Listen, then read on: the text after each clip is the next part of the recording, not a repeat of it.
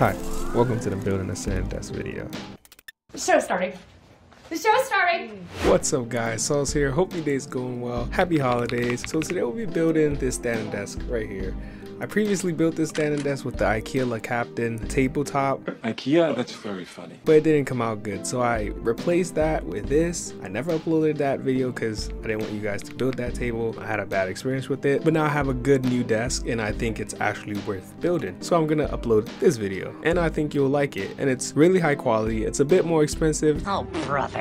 But it's definitely worth it and it will hold up for a really long time. So let's get started with this build. Before we get started, I would like you guys to know you don't don't have to get these specific products that I show in this video. You have to do your own research as well in order to find what's best for you. There are different types of electric frames. There are three stage frames and there are two stage frames. There are also different types of tabletops. You can get a finished one or an unfinished one like I did. A finished one will definitely make the process a lot easier let's get back to the video. So the two main things you need for building a standing desk is the electric standing frame and then the tabletop.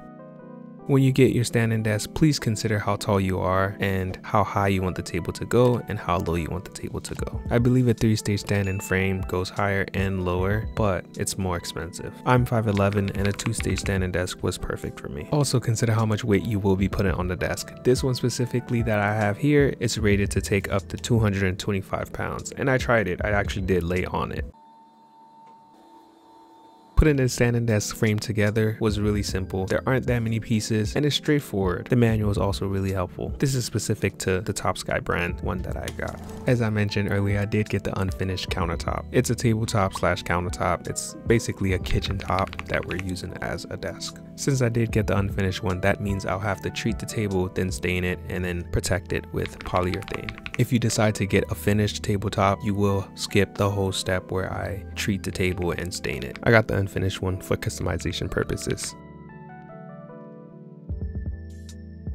So I sanded it down and I wiped it down with this tack cloth. I did both sides already.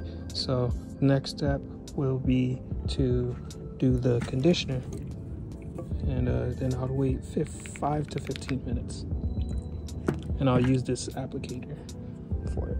So the first step was to sand down the table. I used 220 grit sandpaper. After sanding it, I wiped it down with the tack cloth. That's basically to remove all the wood shavings that you just took off. Then I did the pre-stain, which is the wood conditioner. It prepares the wood for the actual stain. After waiting 5 to 15 minutes, I wiped down the pre-stain. And I did this for both sides. After that, we're ready for the staining process. And you'll see I do only one coat on mine because I think it was dark enough.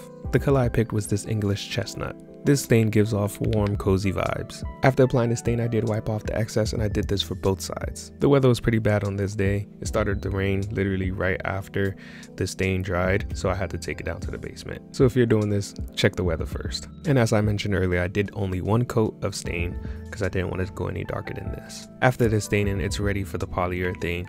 You do one coat of polyurethane, lightly sand it down, then do a thicker coat of polyurethane and then one more. So three coats in total. The polyurethane comes out as this whitish blue color, but when it's done drying, it's clear. I forgot to record most parts of the polyurethane process, but there are other videos on YouTube that can show you exactly how to treat a table. One thing to be aware of is to be careful with drips on the sides. You want to wipe off that excess. This was my first time doing this. I'm really happy with how it came out, and I definitely learned something new.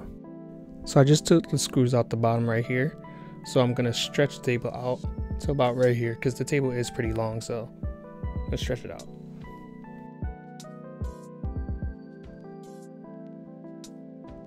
I'm gonna put my monitor mount like right here so I'm gonna leave a lot of space right here for that and I'm gonna put tape at the bottom of these before I start to screw it in so any wood shavings don't just fall on the desk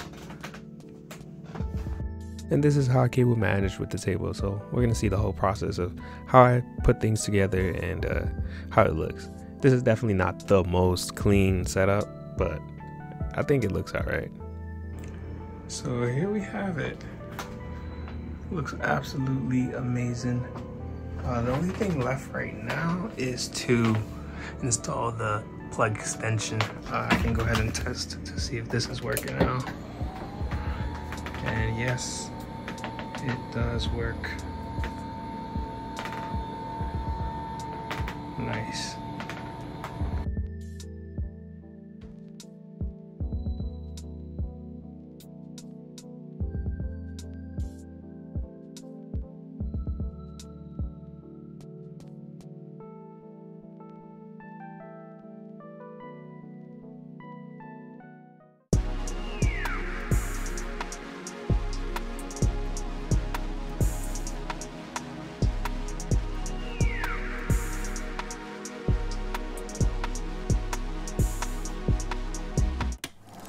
And for my final thoughts, I really like the table. I think it came out really good. I do need to change a few things to my setup to match it a little bit more. This was definitely a learning process. I feel like I gained something new and I think in the future I will definitely be doing the same process if I have to build a standing desk again. Comment below if you have any questions of my process. I'll try my best to answer any questions within my knowledge. And if you made it to the end of the video, thank you so much for watching. Comment below, does this desk look good? If you're new here, check out my channel. See if you want to subscribe. If you do, subscribe. You don't, that's fine. If you liked the video, hit that like button. Thank you so much for watching, and I'll see you on the next one. Bye.